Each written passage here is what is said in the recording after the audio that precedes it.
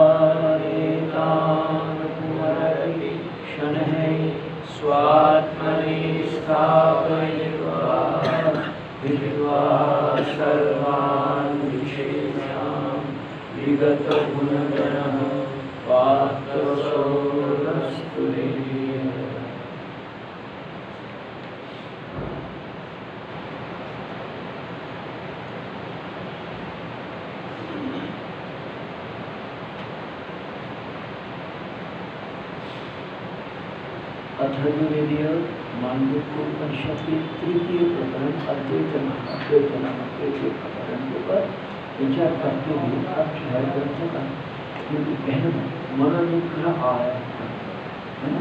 मन से अनुमति भाव मन की निग्रह करेंगे उसी के अधीन होकर के तत्व साक्षात्कार होता है। क्योंकि मन को निग्रह करने पर मन अमन हो जाता है। और मन से अमन भावे तो एकदम नहीं होगा तो आगे समय को नहीं। वो कैसे होता है? बोलता आत्मसत्कर्म बोधना न संकल्प किया।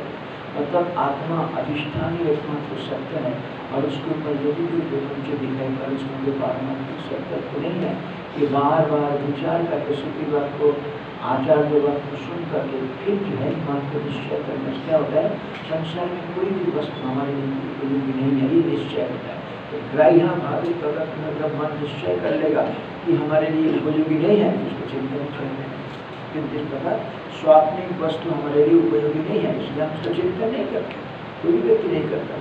अभी मज़ाक के लिए थोड़ा बहुत बड़ा काल में ये देखो तो उसका कोई एग्जैक्ट नहीं रहता उसके लिए ठीक इसी प्रकार से यहाँ भी यही स्थिति है तो ये जो मन की लय होने तो सुषुप्त समय में भी हमको समझ में आता है। तो सुषुप्त में जो मन की प्रचार है, और ये धीरे धीरे जागृत अवस्था में बैठ करके मन को यदि निग्रह कर पाएँगे, इस अवस्था में जो मन की स्थिति है दोनों सुषुप्ति में क्या होता है? अज्ञान रूपी जो है बीज है, समस्त वासनाओं की बीज, वहाँ पे जा करके लय करता तो बीज रह जाता है, बीज नाश नहीं होता इसलिए जब करके फिर जो है शरीर के साथ तादात्म करके व्यवहार करता है। और जागृत को सुषुप्ति बनाते रहेंगे और मन की प्रचार के प्रति ध्यान देंगे तो क्या हो जाएगा? मन धीरे धीरे वो जो अविद्यात्मक जो बीज है, उसको नाश करके वो जो है वो अभिव्यक्त होगा। उसको नाश करके अभिव्यक्त होगा।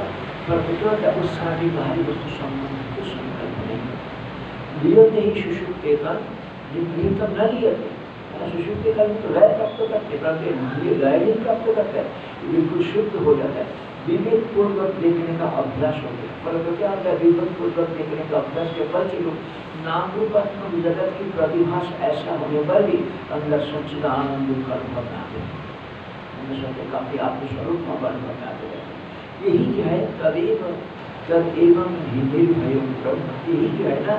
भय रहित व्यापक स्थिति है। भय रहित व्यापक स्थिति। भय रहित व्यापक स्थिति मतलब कि तो आपने से भिन्न कोई नहीं इसलिए ही भय रहित व्यापक स्थिति है। और इस समय क्या होता है? चारों तरह एक ज्ञान की प्रकाश। ज्ञान की प्रकाश मतलब ये नहीं कि आपको समझ चाहिए जैसे लाइट दिखाई दे, वैसा ये नहीं। ज्ञान की पकड़ जहाँ कहीं इष्ट होगा, वहाँ जाते आत्मा अथवा इष्ट अथवा कोई देवता जो आपका लगे एक हर जगह वैसे इष्ट हो। ये होता है ज्ञान आलोकन क्या बोले थे? ये स्थिति की इस प्रकार जो जन्म रही है स्थिति कैसी स्थिति है, उसको समझाने के लिए अजम अनिद्रम स्वप्न अजम अनिद्रम स्वप्नम अनामरूपम सर्वत्रिघातम सर्वज्ञम ये जन्म से रहित है क्यों क्योंकि अभी इसके अज्ञान भी नहीं है, अग्रहण भी नहीं है, अन्यथा ग्रहण भी नहीं है। अग्रहण भी नहीं है, अन्यथा ग्रहण भी अग्रहण हो गया निद्रा। अन्यथा बोलते सब प्रश्न होते अनिद्रम असप्रम है ना? अनामकम अरूप मतलब ये अन्यथा ग्रहण के कारण ही नाम रूप में तादात्मता होती है। और क्या हो जाएगा? कि क्योंकि अन्यथा ग्रहण नहीं हो रहा है, इसलिए नाम रूप के साथ तादात्मता का व्यापार नहीं है। सत्य के हम एक बार प्रकाशित होकर के उतने पूर्ण प्रकाश से विद्यमान है। सर्वत्र मतलब मैं ही जो भी कुछ दिखाई दे रहा मैं ही हूँ। और इसी के अंदर मैं जो है, चेतन रूप में बैठा हूँ। जैसे एक मंत्र में हम लोग ने कई गुरु भी सर्वधि साक्षी भूत अथवा सर्वदा भी है ना, कि सर्वभूत समस्त भूतों के समस्त जीवों में उसके, उसकी सत्ता स्फूर्ति प्रदान करती है, मैं साक्षी रूप में बैठा हूँ। इस प्रकार भाव को प्राप्त होने पर फिर अलग करके समाधि आदि कोई साधन की अभ्यास करने का ना करना। यदि भाव को प्राप्त हो जाए तो कोई भी और अभ्यास नहीं करना, कुछ भी नहीं करना, कि साधन अध्ययन का समय हो रहा था, अब अपनी परिचिन्न को मान्यता नहीं करता अब अपनी चारों तरफ़ ज्ञान के प्रकार, जहाँ की दृष्टि जाता है विश्व अथवा गुरु अथवा आत्मदर्शन होता आत्मभाव आता है। इस प्रकार की मनोभाव को नाश होने मत देना। लोग प्रचार का और कोई ध्यान साधन अथवा कोई समाधि लगाने की आवश्यकता नहीं है यही सहज समाधि है है ना यही सहज समझने से उत्थान नहीं मिला इसके ऊपर भाष्य का पढ़ लीजिए पूरा है ना टीका देखिए टीका टीका जो है हंड्रेड एट्टी टू पेज का है पहला पढ़ने का कर लिए था है ना हंड्रेड एट्टी टू पेज में होता है अच्छा हाँ हम शुरू करेंगे कोई बात नहीं हाँ यहाँ पे देखिए लास्ट टाइम टीका का ये पढ़ा था, निमित्त निवृत्तिया अजत सिद्धि, युक्तम अनिद्रत्रम अनिद्रत्रम निद्रा शब्देन अविद्य अभिलापात आह। निमित्त हट गया। निमित्त क्या था? अज्ञान स्वरूप संबंधित अज्ञान मैं अब मैं परिच्छिन्न नहीं हूँ, मैं असंग व्यापक हूँ। अजत सिद्ध, जब इस असंग व्यापक तत्व में जाएँगे, तब क्या हो जाएगा? अपने आप समझ में आ जाएगा ये जन्म मृत्यु में कल्पना ही था।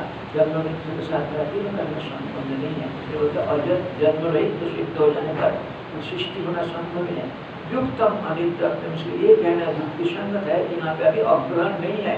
अभी ग्रहण हो रहा, स्वरूप ग्रहण हो रहा, अग्रहण नहीं है, यहाँ युक्तम अनित्यत्व अब नित्य शब्द से क्या कहना चाह? पहले बोलकर कहा नित्य शब्द अविद्या विलापात निद्रा शब्द के द्वारा अज्ञान अविद्या को कहा जाए निद्रा तत्व अजानक तत्व को नहीं जाना ही अज्ञान है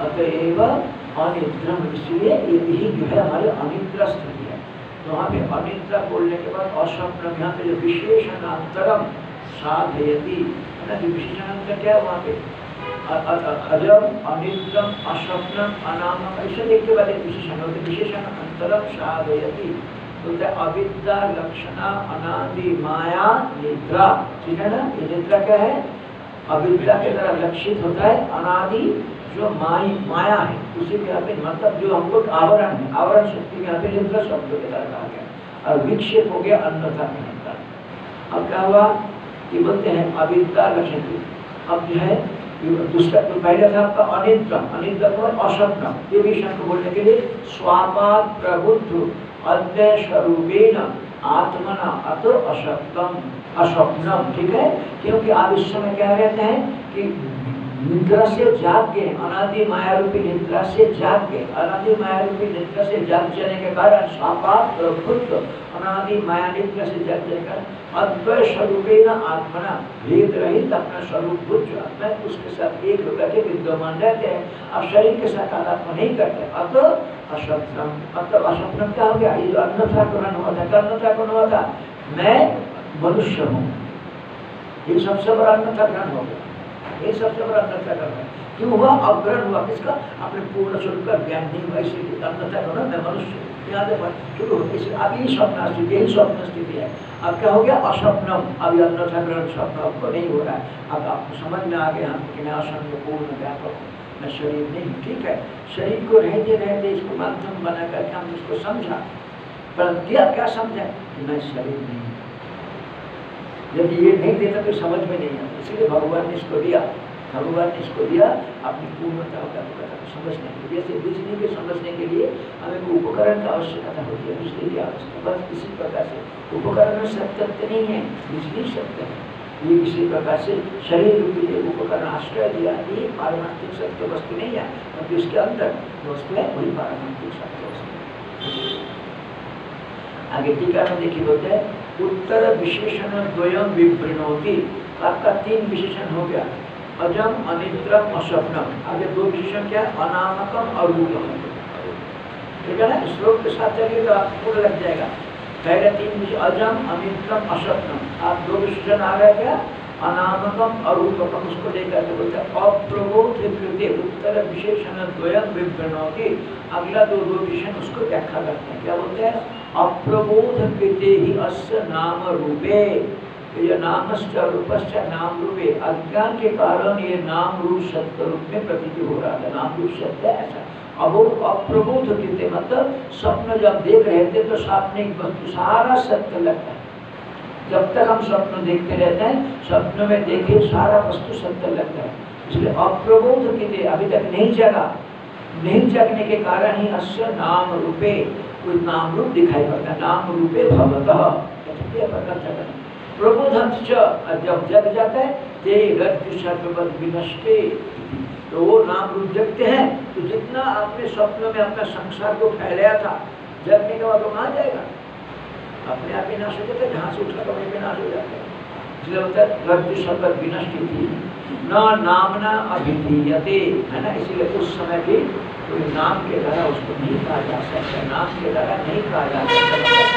शक्ति से भी जो है, ब्रह्म को नहीं समझा जा सकता। है ब्रह्म रूप प्रकार ब्रह्म को फिर किसी भी प्रकार से निरूपण नहीं किया जा सकता। उस व्यापकता के भाव को, पूर्णता के किसी भी प्रकार से निरूपण नहीं किया जा सकता। इसीलिए होगा अनामकम और रूपकम। कल मैंने बताया था कि चार चीज़ के कारण शब्दों प्रयोग होता है। जाति, मूल, क्रिया, संबंध। ये होगा तो क्या हो जाएगा? उसको शब्द प्रयोग नहीं करा। जाती है, न गुण है, न क्रिया है, न संबंध है। इसलिए यहाँ पे शब्द प्रयोग नहीं हो सकता। क्योंकि उसका रूप नहीं है। और इस विषय में अश्रुति प्रमाण को बोल रहे हैं। यथो वाच्य निवर्तनते अप्राप्य अनुशासन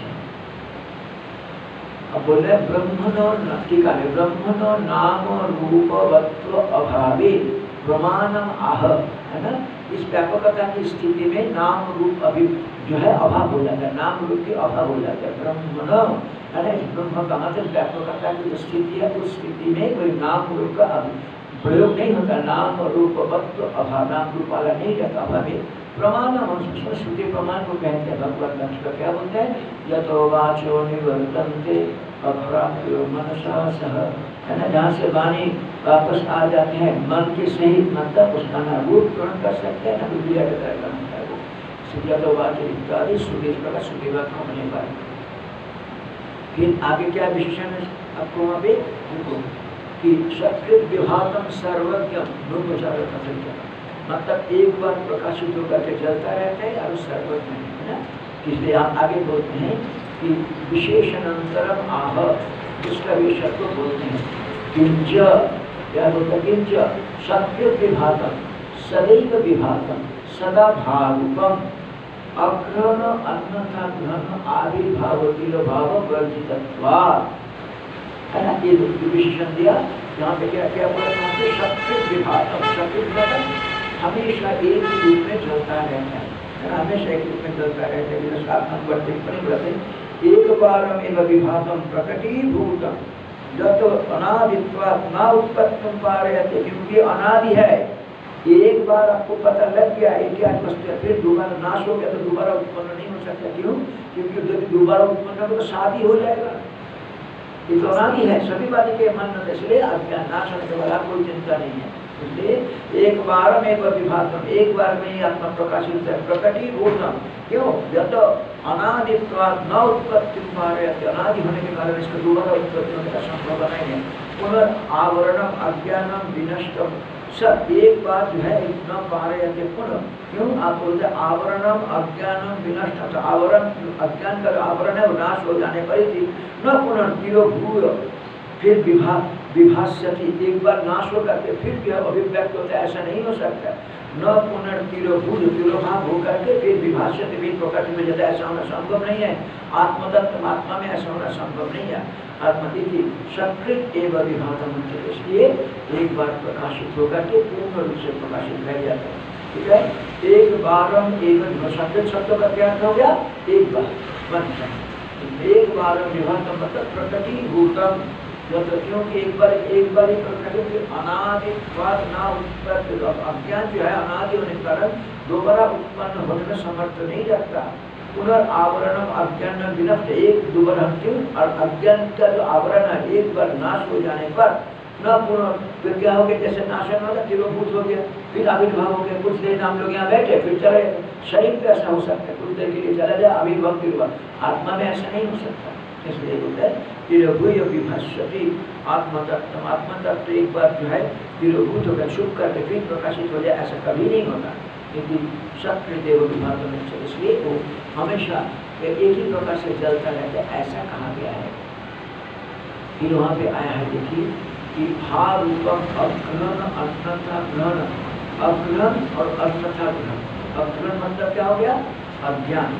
मतलब नहीं जानना। अन्यथा करना भिन्न रूप से समझ लेना है ना? इसका जो है बोलते हैं कि आविर्भाव तिरोभाव। आविर्भाव तिरोभाव मतलब क्या होता है? कि हम शरीर के साथ उठ करके व्यवहार करते अवस्था में जाते हैं। और जब सुषुप्त में जाते हैं तो हमारा व्यवहार तिरोभाव हो जाता है। ये आविर्भाव तिरोभाव, आपका जागृतकालीन व्यवहार ये आविर्भाव हुआ। जागृतकालीन व्यवहार का तिरोभाव होता है। स्वप्नकालीन व्यवहार का आविर्भाव, स्वप्नकालीन व्यवहार का तिरोभाव। अब सुषुप्तिकालीन आविर्भाव आविर्भाव तिरोभाव, ठीक है ना? परंतु इन तीनों अवस्था में आविर्भाव तिरोभाव से रहित आत्मा जो, ये सभी अवस्था को प्रकाशित करे उसमें तिरोभाव, आविर्भाव तिरोभाव नहीं है। है ना? ग्रहण का, ग्रहण बंद का ग्रहण नहीं है वहाँ पे। इसलिए हमें बोलते आविर्भाव तिरोभाव वर्णित अर्थात उससे रहित होने के कारण जो टीका का इसको समझे सदा भारूपत्य हेतु हमेशा प्रकाश विकम है। हमेशा प्रकाश सुख है, इस विषय में हेतु क्या है? हेतु यही है अग्रहण अन्नथा ग्रहण आविर्भाव भाव वर्जित आत्मा की प्रकाश, आविर्भाव की वाला है नहीं सकृत क्यों? जिस, जिन जिन वस्तु के आविर्भाव तिरोभाव आपको दिखाई दे रहा है, और ऐसा लग रहा है उसके आविर्भाव तिरोभाव के कारण आत्मा का भी आविर्भाव तिरोभाव हो रहा है। परंतु थोड़ा विचार करके देखो, जिस वस्तु के आविर्भाव तिरोभाव आपको दिखाई दे रहा है, उसके आविर्भाव तिरोभाव को देखने के लिए उसके पीछे एक आविर्भाव तिरोभाव रहित एक वस्तु चाहिए कि नहीं चाहिए? इसके बिना हो ही नहीं सकता। इसीलिए वो वो आत्मा आविर्भाव तिरोभाव रहित है, जो अन्य समस्त वस्तु का आविर्भाव तिरोभाव को देखता है। इससे वर्णित होने के कारण संकृत विभाग हमेशा एक स्वयं प्रकाश रूप में विद्यमान है। विद्यमान है। सदा भाव उत्पत्ति हेतु अग्रहण अन्यथा ग्रहण आविर्भाव वर्णित उसको समझा जीवे उपाधिस्थे अहम रूप ग्रहण अनुदय तिरभाव जीवात्मा देखो उदय अनुदय समझा। जीवात्मा में जीव में ही उपाधिस्थे जब उपाधि के साथ रह करके अहम रूप ग्रहण, जब उपाधि के साथ है परंतु मैं ये हूँ ईश्वर के ग्रहण नहीं हो रहा। सुषुप्त नहीं हो रहा वो हो गया आपका अनुदय तिरोभाव, उसको हम तिरोभाव बोल रहे हैं। ठीक है? उसको तिरोभाव बोल रहे हैं। जिस प्रकार सूर्य दृष्टा तो क्या दिया था कल, सूर्य में कभी अंधेरा नहीं होता। पर तो हमारी दृष्टि से हट जाते हैं तो हम बोलते हैं, रात हो गया। और हमारी दृष्टि से आ गए तो दिन हो गया। ठीक इसी प्रकार। शरीर के साथ आध्यात्म हो गया तो आविर्भाव हो गया। शरीर के साथ आध्यात्म छूट गया तो तिरोभाव हो गया। इसी के यहाँ बोलते हैं कि जीवे ही उपाधि के अहम रूप ग्रहण अनुदय जीव उपाधि के साथ रह करके अब जब उपाधि के साथ तादात्मता नहीं जाएगा, उस समय तिरोभाव इसलिए तो जब जागृत की जब प्रारब्ध जब जाता है ना तो मन काम नहीं करता, आपको घबराहट नहीं होता शुभ होता है। परंतु जब आप प्रारब्ध को छोड़ करके अपने तपस्या के द्वारा, आप साधन के द्वारा वहाँ पे जाएँगे ना तो आपको ये तिरोभाव लगेगा कि मैं कुछ कुछ नहीं जाएगा। क्योंकि अपना अस्तित्व उस समय नहीं है, घबराहट होता है इसलिए आप बोलते हैं कि अभी तिरोभाव हो गया, मेरा जैसे मैं कुछ नहीं हूँ हाँ मेरा नाश में आया ये क्या हो गया? अपनी अस्तित्व समझ में नहीं आता पहले तो अभी तक अस्तित्व को उपाधि के साथ देखने का अभ्यास हो गया ऐसा आप उपाधि नहीं दिखाई छोड़ दिया आप पहले दिखा इसलिए यहाँ पे बोलते किंच सत्य टीका में आ जाइए, फिर आठ नंबर टिप्पणी मतलब सुषुप्ति विशेष कब होता है? अपने शरीर के साथ तादात्म्यता कब छूट जाता है? सुषुप्ति अवस्था में मूर्छा अवस्था में अब कहीं ऑपरेशन का समय हुआ, आपको कोई एनास्थेटिक दे दिया तो आपका शरीर के साथ तादात्म्य छूट जाता है। आजकल तो इतना डेवलप हो गया कि आपका ऑपरेशन आप स्वयं देख सकते हैं। मतलब लोकल एनास्थेटिक करेगा और सामने स्क्रीन में जो भी ऑपरेशन हो रहा है आपका सामने दिखे बाहर भी दिखाई देगा। आपका जो आप पेशेंट के जो सहयोगी लोग हैं वो भी बाहर बैठ के देख सकते हैं। और पेशेंट भी देख रहे हैं, उसका पैर क्या क्या हो रहा है, क्या कर रहे हैं। लोकल तो उस समय क्या होता है उस उस जगह के साथ, उस जगह के साथ दादा पौधा छोड़ छुड़वा दिया डॉक्टर ने। बाकी अपने शरीर के साथ देख रहा हूँ, मैं देखा ही दे रहा है। मुझे पैर में कुछ हो रहा है मैं उसको बोल नहीं इसीलिए सुषुप्ति सुषुप्ति आदि है ना आदि शब्द से जिस समय आपको दे करके आपका शरीर से थोड़ा बेहोश कर दिया जाता है उस समय भी शरीर से नहीं है ना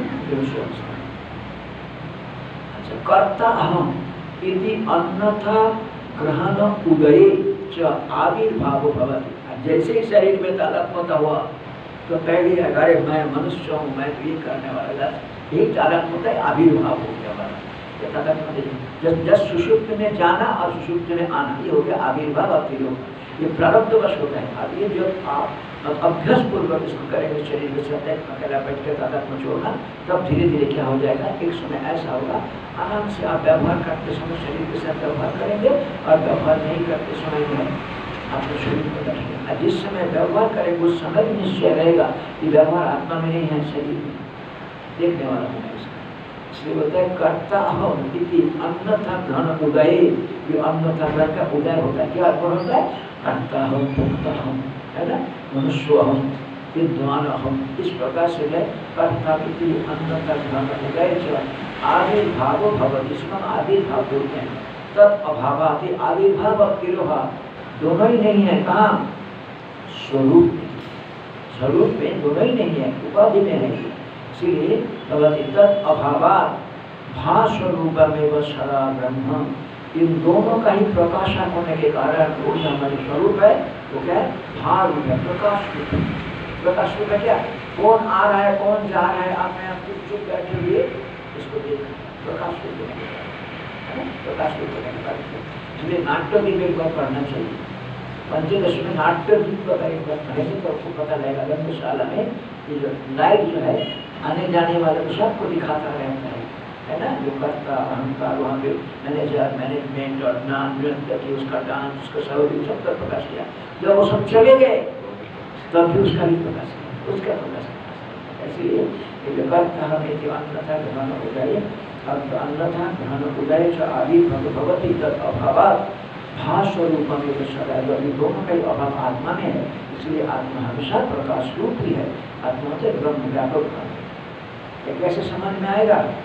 श्रुत्या आचार्य उपदेशा पूर्व ब्रह्मणि अग्रहणम तद उपदेशा ऊर्धम तद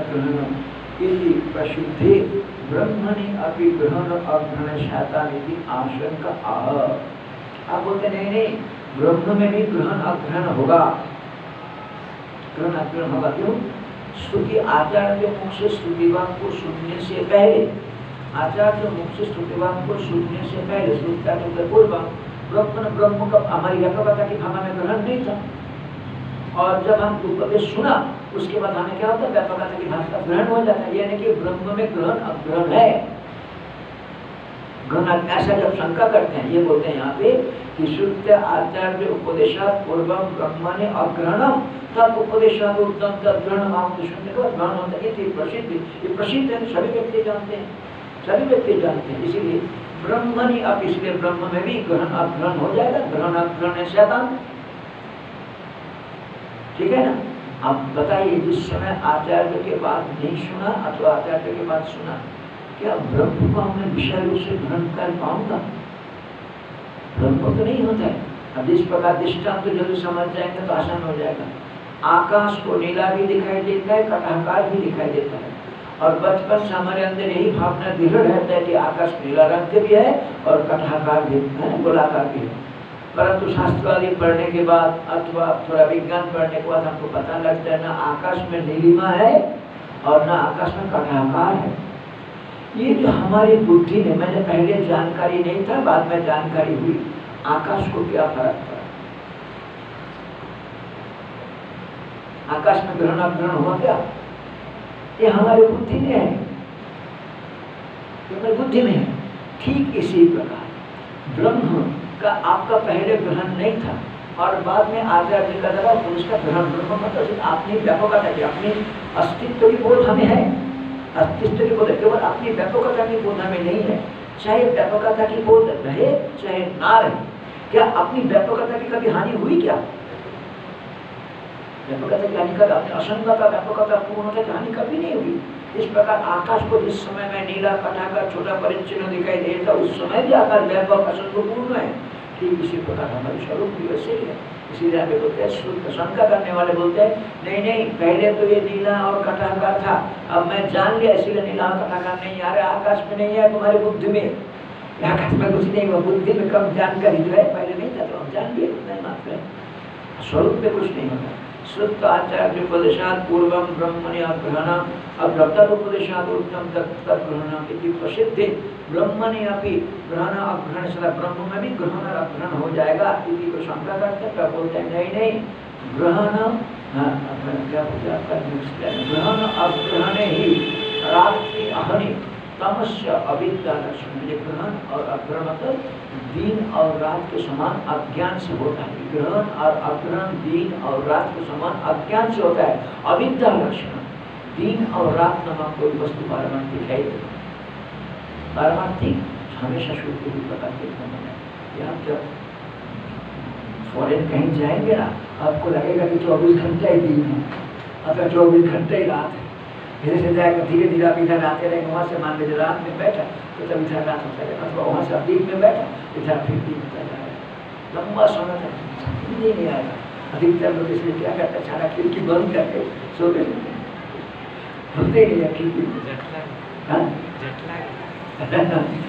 खोल इसीलिए हम बंद करके सोते रहेंगे दिन रात है किंच सत्पित विभातम सदैव विभातम सदा भारूपम अग्रहण अन्नता ग्रहण अभिभव वर्जितम ग्रहण अग्रहणे ये ग्रहण और अग्रहण ठीक है ये रात्रि अहने दिन और रात्रि समान है तम अविद्या लक्षण मतलब आवरणात्मक है तो अविद्या के द्वारा लक्षित होता है वास्तविक है, सदा अप्रभाते कारण। जो अज्ञानी जो है, हमेशा जो आपका मतलब प्रकाश को ढकने के लिए कारण होता है। वो हमेशा पर अज्ञान के कारण हम नहीं जान पा रहे हैं क्या तब अभाव नित्य चैतन्य भाव होते दोनों ही नहीं है वहाँ पे। ग्रहण अग्रहण दोनों ही नहीं है। ग्रहण अग्रहण बुद्धि में होता है। आत्मा में ग्रहण अग्रहण नहीं होता। इसलिए तद अभाव नित्य चैतन्य युक्तम इसलिए नित्य चैतन्य प्रकाश स्वरूप होने के कारण नित्य चैतन्य प्रकाश स्वरूप होने के कारण युक्ति संगत है। यह कहना, कि सकृत विभातम एक बार प्रकाश होने वाला एक बार अभी कभी वहाँ अप्रकाश हुआ ही नहीं। परंतु हमारी बुद्ध उसको ग्रहण नहीं कर पा रही थी। अब बुद्धि ग्रहण कर दिया तो कि हम आप समझ गया कि अरे देखना केवल मात्र हमारी व्यवहार कुछ और करने के लिए हमने कल्पना किया, यदि ऐसा दिन रात की कल्पना नहीं करते तो हमारे क्या होता व्यवहार नहीं चल पाता दिन सूर्य भी ऐसे ही चलते रहते हैं, और जैसे सूर्य में रात है ठीक इसी प्रकार आत्मा में ग्रहण अग्रहण दोनों ही नहीं है तो हमारी बौद्धिक है। मेरे बुद्धि में बैठा हुआ है कि आत्मा व्यापक में या परिचित में ये ग्रहण क्या हो गया? शरीर के साथ तादात्मता ग्रहण क्या हो गया? शरीर के छोड़ इस शरीर के साथ न तादात्मता कभी हुई, ना तादात्मता कभी छूटी। आत्मा के शरीर के साथ ना कभी तादात्मता हुई, ना कभी तादात्मता छूटी। वो तो हमारे बुद्धि ने अदब में इसी शांति दर्शन में बोलते हैं, प्रकृति पुरुष को बंधन में डालते हैं और मुक्त भी करते हैं। बुद्धि प्रकृति का अंतर पाती है। बुद्धि पुरुष को बंधन में डाला बुद्धि मुक्त करते सांग दर्शन के इसलिए ना आत्मा में कभी बंधन है, ना आत्मा में कोई मुक्ति है। इसलिए यथा इसको समझा है। यथा सवित्री अपेक्षया, रात्रि अहनि। नस्त किंतु उदय अस्तमय कल्पनाया कल्पियते। ठीक है देखिए, अच्छी तरह समझिए, तब समझ में आ जाएगा यहाँ जैसे सवित्री अपेक्षा मतलब सूर्य की अपनी अपेक्षा से रात्रि हनि नष्ट, सूर्य की दृष्टि से वहाँ पे रात दिन दोनों ही नहीं है। रात्र रात्र हनि है ना? पे कहा दिन रात दोनों ही, सूर्य की अपेक्षा से देखेंगे तो दिन रात दोनों ही नहीं है सूर्य में। ठीक है ना तो प्रकाश। जाता है सवित्र अपेक्षा रात्र हानि नष्ट किस धातु का रूप है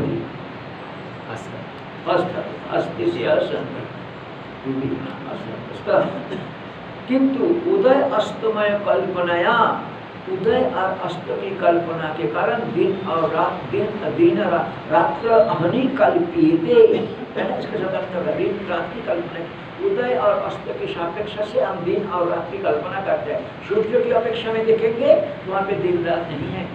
दिन रात इसलिए बोलते हैं, यथा सवित्री अपेक्षा रात दिवचन नष्ट।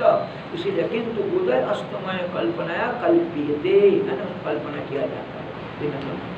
जैसे यहाँ पे दृष्टांत हो गया, इस दृष्टांत पर मैं कौन करते हैं? अब दृष्टांत में समझा गया तथा ब्रह्म स्वभाव आलोचनाया ग्रहण अग्रहणे न विद्यते ब्रह्म की आत्मा के यथार्थ स्वरूप को अगर विचार करेंगे तो वहाँ पे ग्रहण अग्रहण मतलब तादात्मता और नहीं तादात्मता दोनों ही नहीं है। आत्मा में नहीं तादात्म कभी नहीं किया। मैंने अब ग्रहण अग्रहण क्या बोला था? शरीर के साथ तादात्म कर लेना होगा ग्रहण। अहंकार रूप में जब उसको छोड़ देना अग्रहण शिशु समाधि अवस्था में उच्च अवस्था में? इसलिए आप बोलते हैं यथा सवित्री अपेक्षाया रात्रिहनि नस्ता किंतु उदय अस्तमय कल्पनया कल्पेते तथा ब्रह्म स्वभाव आलोचनया ग्रहण अग्रहणे न विद्यते, ग्रहण अग्रहण दोनों नहीं आत्मा में किंतु उपाधि द्वारा कल्पेते। उपाधि के माध्यम से उपाधि हो गया, मन, अंतकरण, उसने दिया दिया शरीर को ला करके मन के साथ तादात्म करवा दिया, और वही जो है जब विचार को तो उसको छोड़ दिया। मन तो ना आत्मा कभी तादात्म हुआ, ना आत्मा कभी छूटा वो कागज़ की कल्पना इसलिए बोलते हैं किंतु उपाधि द्वारा कल्पिते तेन ब्रह्म न सदा भाव उपत्तम अविरुद्धम अर्थ इसलिए अपनी व्यापकता की प्रकाश हमेशा ब्रह्म न सदा भाव उपत्तम क्या अर्थ करेंगे? इस इस कारण से अपनी स्वरूप की जो व्यापकता है ना, वो हमेशा एक प्रकाश हो रहा है। अज्ञान अवस्था में भी हमारी व्यापकता की प्रकाश रहता है। ठीक है ना ब्रह्मण सदा भाव उपत्तम अविरुद्धम इस कहने में कोई विरोध नहीं हुआ। इति अर्थ इसका विपरीत अर्थ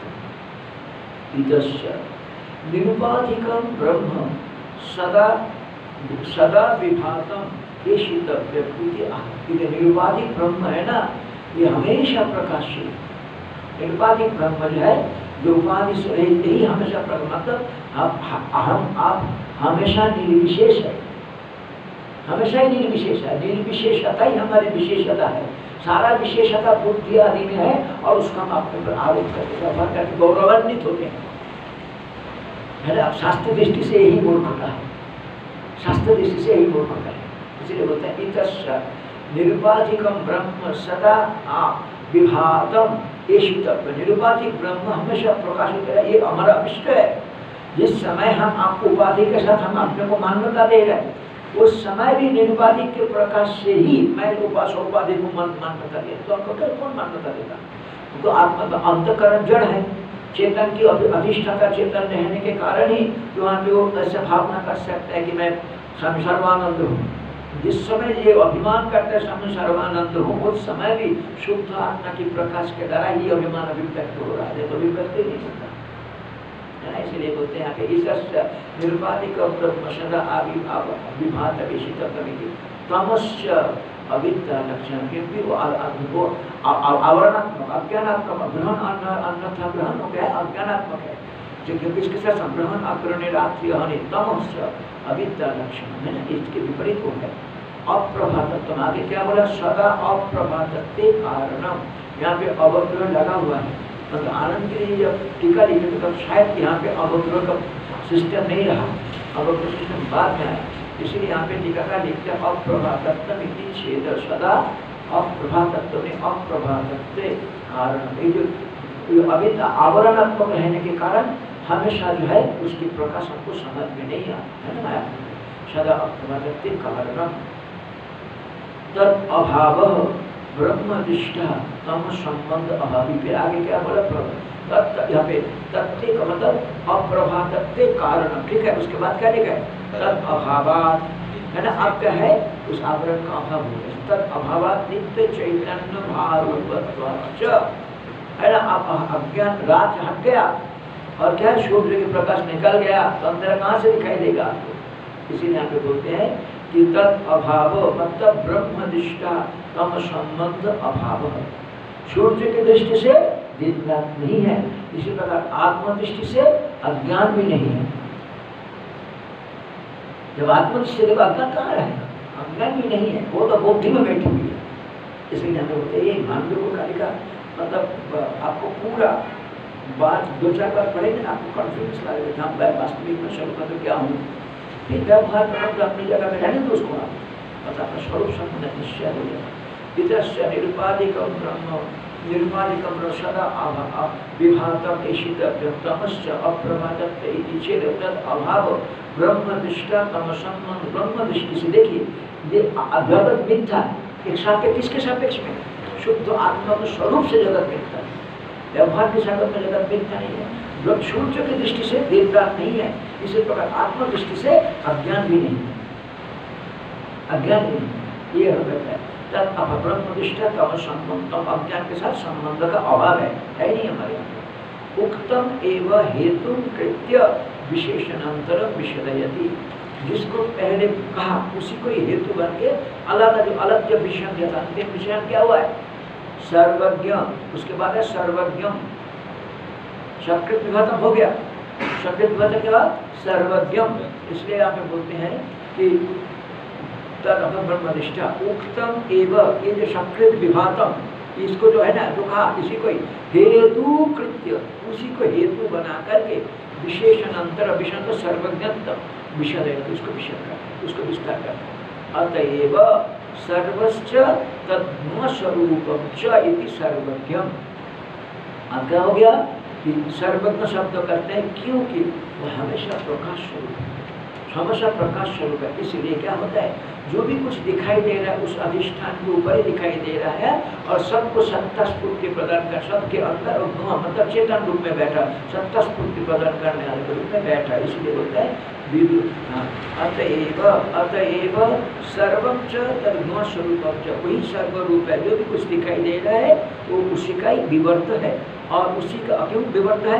क्योंकि जिस प्रकार रज्जु रज्जु को ऊपर दिखाई दे रहा है सर्व को सत्ता स्फूर्ति प्रदान करते हैं। मरुभूमि में बाली, उसके ऊपर दिखाई दे रहा है तालाब को सत्ता स्फूर्ति प्रदान करते हैं। है ठीक इसी प्रकार से शुद्ध चेतन ब्रह्म स्वरूप है, समस्त नाम रूप को सत्ता, उसका अस्तित्व और स्फूर्ति में सर्व मतलब सत्ता और न मतलब स्फुर सभी वस्तु का स्फुर रूप में अभिव्यक्त होता है। सर्वम च तद्न स्वरूपम च इति सर्वम वही सर्वरूप है और सभी के अंदर वो क्या है? न चेतन रूप में बैठा हुआ है ना? चित मतलब सत्ता प्रदान रूप में बैठा हुआ है। अब जब इस प्रकार की स्थिति प्राप्त हो गया तो समझ में आ गया ना, तब फिर कोई साधन की बहुत ज़बरदस्त खतरा मतलब किस तरह से बोल रहे हैं कि यदि ये चीज़ आप अनुभव में आ गया, आप क्या बोलते हैं? देखो टीका का लिख रहे हैं। विदुष निरुद्ध मनुष्य ब्रह्म स्वरूप अवस्थान मुक्ता क्या हो गया? इसका मन निरोध हो गया। ये बिल्कुल जगह पे आपको बताएँगे मन निरोध हो गया, उसकी स्थिति को बताया।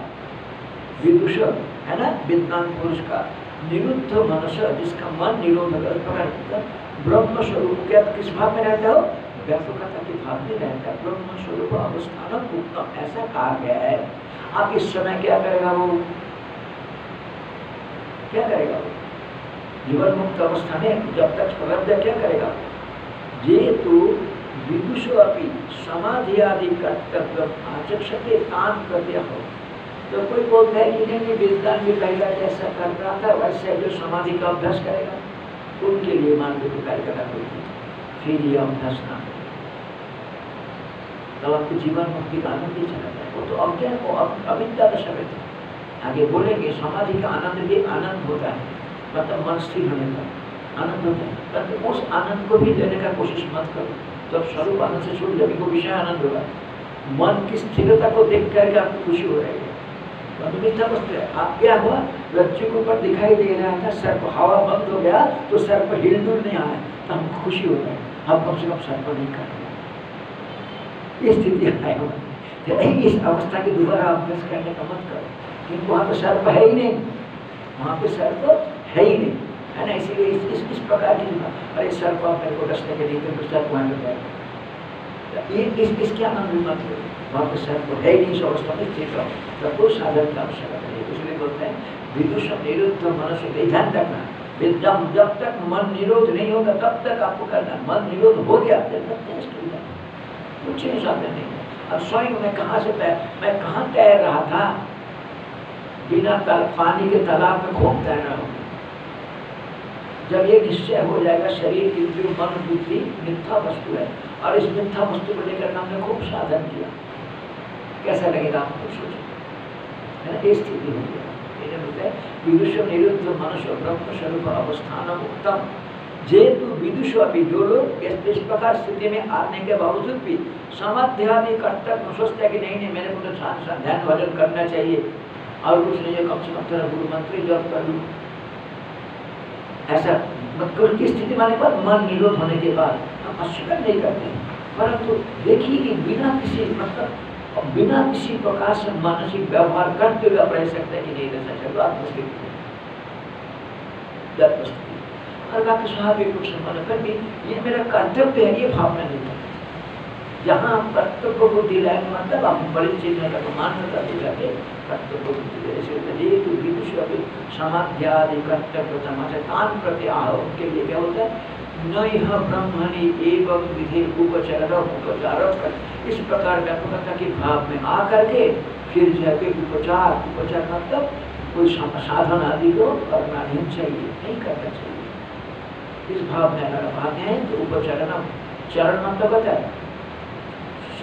चर धातु है टू मूव टू मूव मतलब है ठीक है ना इसमें लुट प्रत्यय के चरणों और फिर से चरण मतलब उस के इधर उधर भागना ही साधन करके इसको उपासना इसको बोलते हैं हमारी एवं विधंतम निरुपाधिकतम उपचार वहाँ पे क्या बोला यहाँ पे देखिए ऊपर में न यह ब्रह्मणि एवं विध ठीक है ना एवं विध मतलब क्या हो गया? एवं विधत्ता मतलब निरुपाधिकतम मैं असंग में व्याप्त हूँ किस प्रकार से संरचना पे कौमा करते हैं अब एवं फिर उपचरण मतलब उपचार उपचार शब्द उपचार मतलब क्या हो गया? समाधि आदि। है ना, समाधि आदि। मतलब समाधि के द्वारा कोई भी साधन करने की जो इच्छा होता है, क्योंकि अभ्यास ऐसा बना हुआ अभ्यास ऐसा बना हुआ अच्छा आप मान लीजिए, ऐसा हो सकता है। एक एक महात्मा को कुछ नहीं करता बिल्कुल अपने साधक को तोड़ शाम के वक्त उनके काम में उनके भक्त लोग शेर करके बना करते जाते क्या करते हैं शाम को जब मंदिर में संकट बंद होता है ना आते रहते हैं उठ कर थोड़ा खाना घरों का कैसा पूजा दो तीन दिन ऐसा देखने के बाद एक मुस्कुराए दिन भर तो कुछ नहीं करते शंकर ध्वनि सुनते ही जब उठ के खड़े हो गए ऐसे क्यों करते हैं?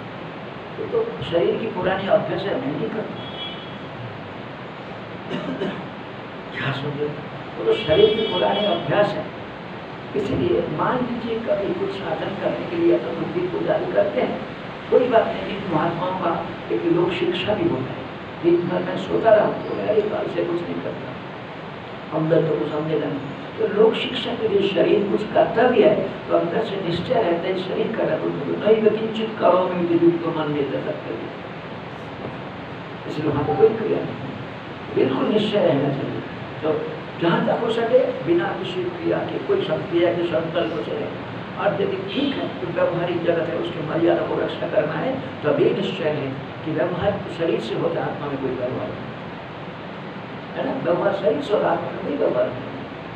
आप बोलते हैं कि एवं विधत्तम ये कौमा कर देना मतलब निरुपाधिकत्वम कहाँ रहे हैं एवं विध तो भाष्य में देखिए न यह ब्रह्मणि एवं विध उस एवं विध का मतलब क्या जब आपका निर्विशेषता समझ में आ गया उसके बाद उपचार मतलब समाधि आदि कोई भी समाधि से किसी आदि से तरह किसी भी प्रकार के साधन की अपेक्षा साथ साधन भाव छोड़ जाना चाहिए कंप्लीटली छूट जाना चाहिए वो ज्ञान तब लगे जीवन भक्ति के पूर्ण आनंद मिलता है उपचार समाधि आदि फिर आगे बोलते हैं उपचार हाँ टीका है। निरुपाधि के ब्रह्मणि विदुष न कर्तव्य शेष अस्ति। ठीक है ना? निरुपाधिक ब्रह्म के स्वरूप भाव में स्थित हो गया तो वेदांत पुरुष मतलब निरुपाधिक निर्विशेष व्यापकता में स्थित है जो पुरुष। है ना, वेद ज्ञानी अज्ञान कुछ नहीं निरुपाधि के ब्रह्मणि, ठीक है ना? निरुपाधिक ब्रह्म तो देख लीजिए। सती सप्तमी यम ब्रह्मणि ज्ञाते मतलब मैं ही असंग व्यापक इस प्रकार अनुभव हो जाने पर, ठीक है ना? सप्तमी है। साहित्य से सब सब विद्वान है ना? इसे अतः सप्तमी, उसको इस प्रकार से जान लेने पर तो सप्तमी सबसे अच्छा है। ब्रह्मणि विदुष न कर्तव्य के लिए कर्तव्य शेष नहीं ली जाता एक बुद्धिया बुद्धिमान भारत कर्तव्य का बुद्धि नहीं देता कि तो जो करना था शेष हो गया। यदि कर्तव्य बुद्धि जगता है तो अभी भी हमारी असंगता व्यापकता पूर्ण रूप पूर्ण निष्ठा नहीं है। पूर्ण निष्ठा नहीं चेत न स कर्तव्य बुद्धि न ऐसा कुछ श्लोक आया है। ब्रह्मन एक नंबर के सभी यम ब्रह्मणि कहते सती अर्थ स विदुष न कर्तव्य उस विद्वान के लिए कोई कर्तव्य नहीं रहता एकदम अर्थम इस विषय को वैधर्म उदाहरण व्यतिरिक्त के द्वारा समझा रहे हैं। जैसे अन्य शाम अज्ञानी पुरुष के लिए अन्य शाम आत्मस्वरूप व्यतिरेक जो आत्मा से भिन्न करके साधन आदि करने का अथवा तो साधन करके मैं इसको प्राप्त करूँगा समाधान आदि उपचार, उसको आत्मा को श्रीमंत समाहित करने के लिए, ध्यान भजन करने के लिए ये उपचार है, अज्ञान, अन्य मतलब अज्ञानी जीव के लिए जो अब तक इसका बोध नहीं हुआ, उनको जैसे साधन के लिए मन में एक अभ्यास करने के लिए अथवा मन को रोकने के लिए प्रयास करते हैं, अपनी निर्विशेष अवस्था को समझने के बाद ऐसा कोई प्रयास नहीं। करता उपचार। क्यों? क्योंकि नित्य शुद्ध, बुद्ध गुप्त स्वभाव मनोबुद्धि व्यापकता है ना? वो व्यापकता हमारा नित्य है। वो व्यापकता सर्वथा शुद्ध है और दूसरा कोई वस्तु है नहीं और उसमें कोई बंधन है नहीं, वो शुद्ध चेतन रूप है और वो मुक्त भी है। इसलिए वहाँ पे फिर और कुछ करने की आवश्यकता नहीं है। जिसको प्राप्त आप बाहर की चोटी में शामिल करने के बाद और फिर मैं अब फिर भी ऐसा मैं क्लाइम करूँ। कहाँ क्लाइम करूँगा। आप एक माउंट एवरेस्ट चढ़ने के लिए जाते हैं कुछ भी चढ़ने के लिए जाते हैं कर भारत की पता कभी कर दी। अभी आप कि मैं और करूँ। वह तो होता नहीं, इसलिए बात के ब्रह्म विभूषण इसलिए देखो, ये भगवत गीता में यही समझ आरुक्ष मुनि योगम कर्म कारण मुच्यते योगारूढ़ तस्व संकार है आरोहण करने की इच्छा रखने वाले को तो आपको कर्म करना पड़ेगा, साधन करना पड़ेगा। आरोहण हो गया। तस्व आरूढ़ मतलब कर्म कारण योग आरूढ़ तस्व जो पहले आरोहण करने की इच्छा रख साधन कर, उसी व्यक्ति दूसरे के लिए नहीं बोल रहे वही व्यक्ति जब बाहर की चोरी में जाता है श्रम कारण बस कुछ भी नहीं करना उसमें कुछ नहीं करना मैं जो आप मानव को कार्यक्रम बोल रहा सोचता है कि नया चीज़ बोला, कुछ नहीं। सारा उपनिषद अथवा प्रस्थांतरी, यही चीज़ को कहा करते हैं। शब्द थोड़ा भिन्न होता है, सरल शब्द से बोला यहाँ थोड़ा सा सीधा सीधा कि क्या करने करने का सीधा बोल वहाँ पे भगवान श्री कृष्ण बड़ा अच्छे शब्द बोलते हैं सब कारण मतलब कुछ साधन आदि मत करो। उस समय फिर भगवान में मिलने के बाद फिर भगवान ढूंढो, तब क्या हो जाएगा? आपको मिलाएगी निरुपाधि के ब्रह्म ने विदुषणा कर्तव्य से एकमात्रम वैधर्म उदाहरण व्यतिरेक दृष्टि सिद्ध करके दिखाते हैं। यथा अन्य शाम आत्मस्वरूप व्यतिरेक समाधान आदि उपाचार आत्मस्वरूप से भिन्न करके मानते हैं। अपने पर फिर उसके लिए क्या करते हैं कि मैं को समाधि लगाना चाहिए, मेरे को मंत्र जब करना चाहिए तो ये सब जो है। भगवान रूप ब्रह्म भाव में व्यापकता के भाव में बोध होने के कारण ईश्वर की आवश्यकता नहीं है, क्योंकि आत्मनित्य शुद्ध रूप में मुक्त स्वभाव इसका देखिए अन्य पद है ऊपर अन्य मतलब अनात्म विनाम है ना? आत्मा को भिन्न करके देखते ईश्वर का भिन्न करके। इन लोगों के लिए तो साधन की आवश्यकता है, देखिए। ये लोग साधन की आवश्यकता नहीं है ये नहीं बोल रहे किस स्थिति में जाकर के साधन की आवश्यकता नहीं है, वो कहना चाहिए। जब तक आत्मज्ञान नहीं होता, आत्मनिष्ठा नहीं जाता, तब तक तो भजन भी साधन भजन करने का हमेशा अनात्म विराम यावत अविद्या दशायाम एवं सर्व व्यवहार विद्या दशायाम च अविद्या असत्वा न कोई व्यवहार। वहाँ पे देखिए, असत्व दो बार लिखा है। एक कार्ड दीजिए एक कार्ड दीजिए ठीक है ना? अविद्या दशायाम एवं सर्व व्यवहार अविद्या दशा में सारा व्यवहार होता है। विद्या दशायाम अविद्या या असत्य विद्या अवस्था में क्या होगा? विद्या विद्या एक साथ एक ही अधिकरण में रहेगा कि नहीं रहेगा? विद्या, अविद्या, ज्ञान, अज्ञान, एक ही अधिकरण में एक साथ, एक ही विषय संबंधित रह सकते कि नहीं रह सकते? नहीं रह सकते। बोलते हैं कि विद्या विद्या दशा में अविद्या की नहीं रहने के कारण न व्यवहार। तो किसी भी प्रकार की व्यवहार होना संभव नहीं है। परंतु जीवन मुक्त पुरुष को व्यवहार देखा जाता है। वो कैसे होता है? तो अनुवृत्त होता है बाधित तो अनुवृत्त का तो व्यवहार और आभास है ना बाधित तो अनुवृत्ति मतलब जैसे मान लीजिए आपने सिगरेट का दुकान देखे उस दुकान में क्या करते हैं मोटा रस्सी जो है लोग आते हैं माचिस दो माचिस दो करते हैं रस्सी को जला करके रख देते हैं ठीक है ना अब वो दिन भर धीरे धीरे धीरे धीरे चलता है अब कोई पहला भाग उसका जल गया और पिछला भाग नहीं जल परंतु जब तक कोई आप उसको नहीं रखा तो लगेगा कि इतना बड़ा पड़ा मतलब बाधित अनुवृत्ति बाधित हो जाने का बाद भी उसका अनुवर्तन हो रहा है मतलब रस्सी जैसा दिखाई दे रहा इस प्रकार किसी कमरे में, किसी देखते हैं अलमारी दो दिन अलमारी एक अलमारी में, पुस्तक एक कलम में, कपड़ा पूरा उस कमरे में आम है। अब जब आप उस कमरे में घुसेंगे, शीशे का अलमारी है, अगर शीशा टूट गया आपको अंदर की वस्तु ऐसे ही सजा हुआ दिखाई देगा। लेकिन पर तो पकड़ेंगे तो क्या मिलेगा? राख। इसको बोलते हैं बाधित अनुभूति मतलब देखने में तो ऐसे ही लग रहा है। क्योंकि है वहाँ पे राख। इसी से व्यवहार किसी प्रकार से विद्यमान व्यवहार होता है बाधित अनुवृत्ति या तो व्यवहार आभास शक्ति बाधित अनुवृत्ति से जो व्यवहार होता है, व्यवहार का आभास होता है। व्यवहार आभास होता है इसका विपरीत है। वहाँ पे देखिए, दो नंबर टिप्पणी दो नंबर टिप्पणी अविद्या दशायाम एवं सर्व व्यवहार। अविद्या दशायाम च अविद्या सत्ता तो व्यवहार को लेकर के बोलते हैं, भिक्षा का यानी कि ज्ञान के बाद भिक्षण में ये बात नहीं है। मतलब का क्या बाधित तो अनुवृत्ति से होता है। तो ना कि उठ करके खड़ा हो जाकर फिर थोड़ा प्रणाम करके ये बाधित अनुवृत्ति शरीर अपना अपना संशय करते हैं। भूख प्यास, शरीर के धर्म आत्मा के धर्म नहीं है। वो जानता है कि आत्मा में भूख प्यास नहीं है जब तक प्रारंभ दिया, इस शरीर से तो भगवान को इस शरीर को रक्षा करने के लिए उसने मृत्यु बुलाएगा और उसको अपना मात्र संतुष्ट होकर के रहते हैं? इसलिए बोलते हैं, दो नंबर भिक्षा का नारी। बाधित अनुवृत्त बाधित अज्ञान तत्कार्य अनुवृत्त संस्कारेण अर्थ। देखिए बाधित हो गया। क्या हो गया? अज्ञान का कार्य। अज्ञान और अज्ञान का कार्य बाधित हो गया। फिर भी उसका अनुवृत्ति दिखाई पड़ता है क्यों? क्योंकि वो संस्कार के कारण मान लीजिए ज्ञान हो गया तो लैट्रिन बाथरूम बंद हो जाएगा क्या? नहीं होगा। यानी वो इसको से करते दिखाई देगा। क्योंकि वो जो है? शरीर के धर्म है। आत्मा भविष्य जानते हैं। इसलिए उन्मिशन निमिशन प्रलोभन विसर्जन सब विसर्जन तो करते हुए जानते हैं कि कुछ नहीं। इसलिए बोलते हैं बाधित आरोपित मतलब बाधित अज्ञान और कार्य से बाधित क्या हो गया? अज्ञान और अज्ञान का कार्य बाधित हो। गया उस बाधित कार्य का अनुवृत्ति, उसी का अनुवृत्ति दिखाई देगा उसका अनुवृत्ति कैसे होता है?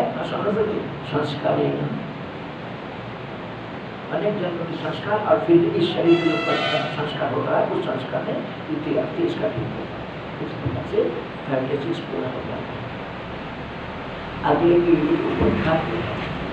विज्ञान एव ब्रह्म इति अंगीकृत प्रकृत ब्रह्म पुलिंग निर्देश अब देखिए, हमारे पास ये जो है, आत्मा आपका पुलिंग में प्रयोग ब्रह्म न्यूट्रल जेंडर में प्रयोग और देव शब्द पुलिंग में, देवता शब्द स्त्रीलिंग में। है ना? तो ये आपने विष्णु शास्त्र नाम करते तो आप देखते हो कि कहीं पे जो उस शब्द को जो विष्णु शास्त्र में कुछ शब्द को स्त्रीलिंग में प्रयोग होता है कुछ शब्द कुछ नपुंसक में प्रयोग होता है और कुछ शब्द पुलिंग में प्रयोग होता है। तो भाष्य का पहले देख लिया कि जब आपको मतलब पुलिंग शब्द प्रयोग किया मतलब आत्मा को मन, में रखते हैं मतलब विष्णु का आत्मा है और विष्णु ब्रह्म है और विष्णु सारा देवता है।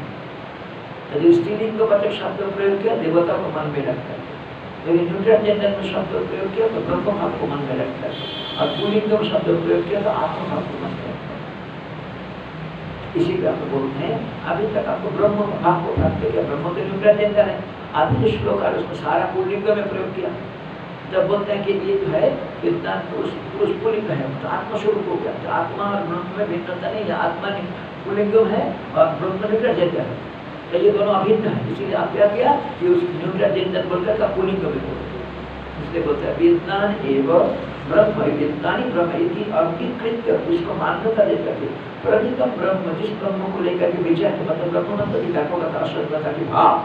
है ना? पुलिंग करते हैं, उसी बात क्या है, उसी को, वही व्यापकता की असंगता की भाव ही हमारा स्वरूप है, आत्मा है। ये ब्रह्मा जिन जिन ब्रह्म को अभिन्नता को देखा। ब्रह्म और आत्मा की अभिन्नता को दिखाने के लिए उसी को फिर पुलिंग में प्रयोग करते दिया पुलिंग प्रयोग करते दिया केवल श्लोक को सर्वाभिलाप विगतः सर्वाभिलाप विगतः सर्वचिन्ता समुत्थितः सर्वचिन्ता समुत्थितः सुप्रशान्तः सकृज्योतिः सुप्रशान्तः सकृज्योतिः समाधिरचलो भयः समाधिरचलो भयः सर्वाभिलापविगतः सर्वचिन्ता समुत्थितः सकृज्योतिः समाधिरचलो सर्वाभिलाप विगत समस्त मान अथवा इंद्रियों की व्यवहार से ऊपर है पहले सर्वचित्त समुत्थित अंतकरण के व्यवहार से ही परे है। है क्या? सु और प्र दो प्रसंग लगा करके शांत शांत। शब्द धातु में शांत मतलब सुष्ठ रूपेण प्रतिष्ठ रूपेण शांत है किस रूप में है? सकृत ज्योति एक प्रकाश रूप में आपके सामने अब जब कोई चीज़ आपको कोई वस्तु स्पष्ट रूप में समझ में आना, कोई वस्तु स्पष्ट रूप में समझ में नहीं, इस प्रकाश मतलब हमारे यहाँ में क्या वस्तु है?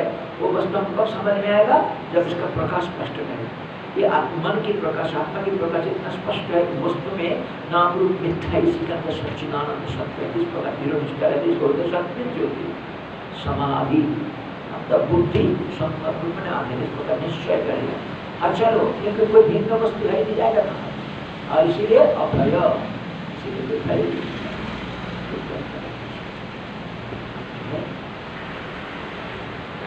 पहला।